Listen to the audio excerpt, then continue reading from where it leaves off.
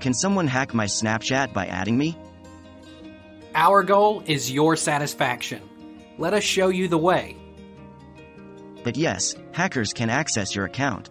With over 260 million daily users, Snapchat is increasingly being targeted by hackers and sextortionists. Private photos and videos shared on the platform between users, plus the sensitive financial data stored on its payment system, make it a target,